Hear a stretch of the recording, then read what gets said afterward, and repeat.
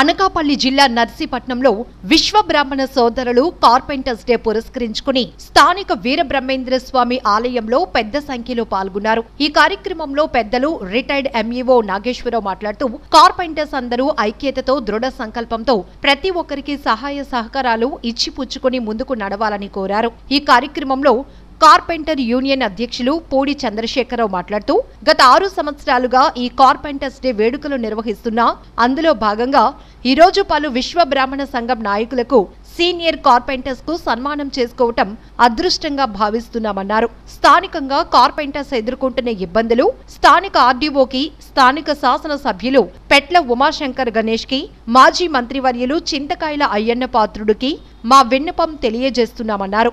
రానున్న రోజుల్లో ప్రతి ఒక్కరూ ఐక్యమత్యంతో ముందుకు నడవాలని ఆకాంక్షించారు. ఈ కార్యక్రమంలో పూడి చంద్రశేఖర్ మత్తుర్తి వాసు గానుగల సత్యనారాయణ శ్రీను పొలమూరు సుబ్రహ్మణ్యం గానుగల అప్పలరాజు పొలమూరు బ్రహ్మాజీ కొమ్మోజు పెదపూడి మహేష్ చుక్క ఆనంద్ కొప్పోజు శ్రీను పాల్గొన్నారు.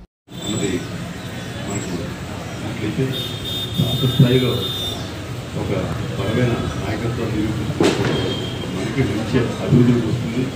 అయితే నేను నిన్న నాకు ఆ తేడా వచ్చింది. ఇప్పుడు డోక్రా సంఘాలు ఉన్నాయి. డోక్రా సంఘాలు ఏం చేస్తారు?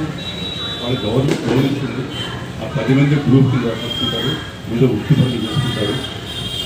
వాళ్ళు రీప్లేస్ చేస్తారు గవర్నమెంట్ లోన్. అదేవిధంగా మనం కూడా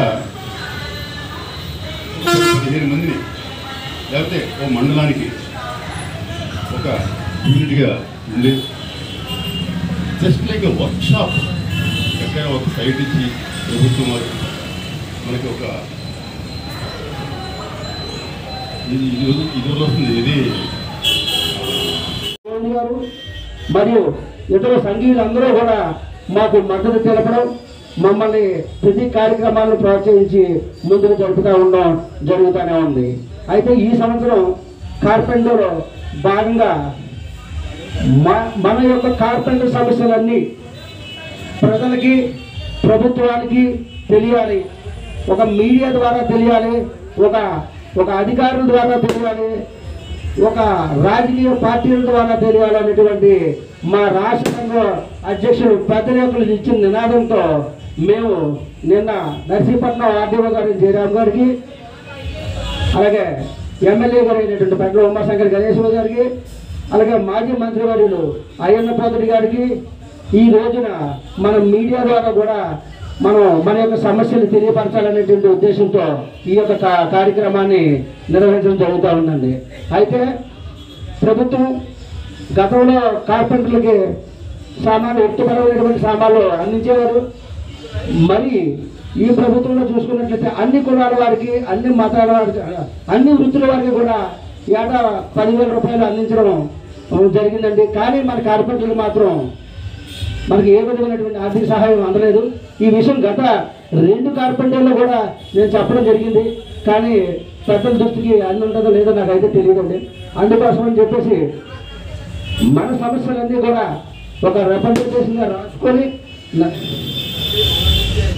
వాళ్ళు నర్సీపట్నం టౌన్లో వందల్లో ఉన్నాం. ఈ దీని పొల్యూషన్ వల్ల దూలని సౌండ్ వస్తుందని పక్కింటి వాళ్ళు ఎదుటి వాళ్ళు మరి మా మీద పోలీస్ కంప్లైంట్లు కూడా ఇవ్వడం జరుగుతూనే ఉంది.